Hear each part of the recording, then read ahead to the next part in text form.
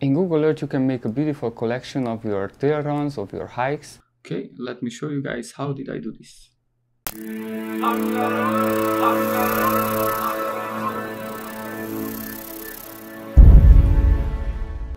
Aloha guys, this is Nando from Hungaro Explorer and welcome back to the channel. Today's episode is a little bit different, not a typical gear guide, gear tips video. Today what I'm gonna show you guys how to import GPX files from different sources to Google Earth. In Google Earth you can make a beautiful collection of your trail runs, of your hikes, and then everything can be in one spot. And then you can later analyze it or you can just show off to your friends whatever trail did you do. Today I will show you how to do it from different sources. One is gonna be Gaia GPS, second um, Garmin Connect and Strava too. I will just gonna show you guys the basic, but I hope it will help. First, let me show you how you guys download Google Earth. And you have this beautiful website. Now they have a Earth online, but I still like to use my my offline version. So up here on the left top corner, you see Earth versions. And then you have different ways, web, mobile, or Pro on desktop. You click on desktop, download Pro on desktop, accept and download. From here it's pretty easy. You basically just set it up, install it, and you're good to go. After you install Google Earth, you are ready to launch it look at this beauty this one is all my tracks what I did in Oahu. So as you see there are a lot of tracks and you can zoom in more. Okay let me show you guys how did I do this? Okay so I'm gonna show you guys three ways where how you can download the GPX file turn into KML and load it into Google Earth. First if you have a Gaia GPS account which is free you can just very easily go to your profile go on your tracks and uh, let's just click on one track here which says Iliahi loop it shows you the track where is it? And you want to put this in Google Earth. You just go on data and download as KML file. Click on download save file or you can open right away with Google Earth. So we can just do open with Google Earth Okay, and we are already in Google Earth right here. Look at that. We already have the whole loop and then you can see how you go on the ridge, down in the valley. It's just very cool.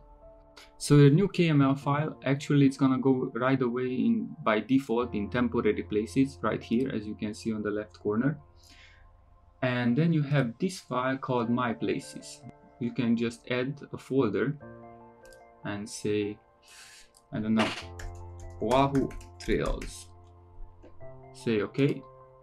And then you have a new folder. So what you can do you can just pick up the Iliahi loop file and move it to Oahu trails. So now when you get out of Google Earth it's not gonna disappear because it was in a temporary file. It's gonna show you at Oahu Trails right here. Let's add another file to our account here. Okay so the another interface we're gonna use to import tracks to Google Earth is through Garmin Connect. A lot of people have Garmin watches. They record their activities and uh, Garmin Connect. There is an activities window here. Or just go on the side and choose activities all activities. Okay, let's choose a hike, Julio to Mount Olympus. You click on it. Okay, you get all the data, everything. But now what you want to download it as a KML file. So you go on the right corner, more, export to Google Earth. Okay, you say open file. Okay, so this, as you guys can see, looks very different than the other ones because Garmin Connect shows all the tracks, all the laps, what we don't really care about. So what we're gonna do, we go on the temporary places, click on this and it says track points. If you unclick it, they disappear. So we don't need that delete. Boom. Next, laps. We don't care about laps. Delete. Boom. Okay. Looks much cleaner, much better. We have another GPX file. What we have to do now, moving from temporary places to up there to Oahu Trails. Now let's go to the third way to download, uh, to introduce a GPX file in Google Earth, and that will be through Strava. Okay, so Strava is used by mostly runners and bikers, but lately there are a lot of hikers are on Strava too. It's a pretty cool interface. I really like it. Unfortunately, Strava makes you to pay for your training log to access your training log. So the free version still have you still have access for some of your latest activities like this one. Okay, and it shows up here what I need to click on these three points actions export GPX file. So I save the file this time. So because Strava not able to export as a KML file, I have to use an online GPX to KML converter, which is pretty simple. You just type in GPX to KML.com and it's a very simple surface. You can do GPX to KML or KML to GPX, convert file, GPX, waypoints tracks routes, that's fine. And you just say convert. Okay, file will download your file here. Click, open with Google Earth Pro go back to Google Earth. Perfect. So now we have one introduced by Garmin, introduced by Strava, and one introduced by Gaia GPS. Okay, let me show you guys what can you do with these files. As you see, they all have, this was introduced in red, the other one in green. So what you can do, you click on the file, it says Coolio to Mount Olympus track right right click on it and say get information. When you do get information you can just change the name. Maybe you want to do Palau crossover. Okay you can put the description I don't really do that but then what I do the style and color the width of these lines you can put I put usually two.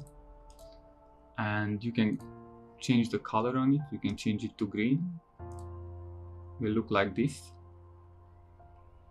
Maybe you want to add some waypoints on your map. You just press this uh, add place mark option. And let's see. Maybe you want to see oh okay. This is Kaau crater. So you want a place mark in the crater. So you can just put Kaau crater and then you click on this little icon and you can change it anytime. So this is your preference whatever you wanna put you have all these little things. If you think that Kaau crater is good for camping then you can just put a camping spot but because that's not true and I wouldn't camp in there maybe we're just gonna put like a regular yellow mark. Okay now you can change the color and you can change the scale of the icon. As you see, I have my own ways to put different uh, place marks. I use this little hiker icon for the trailheads. I use the waters watermark for waterfalls. I I use for peaks. I use like a separate uh, green star. You know, everybody will figure out a way to do its own. Uh, what I forgot to mention, if you want to save your uh, progress, you can just click on My Places, right click, and you say Save Places As, and you save it as a KML file, let's call My Places, put Save. When you get out, you have your KML file. Okay, so this was it. I hope you learned something new. I hope uh, it, this video contains some good valuable information. If you have any questions, feel free to just put them in the comment section and I will answer as soon as I can. See you guys around. Aloha.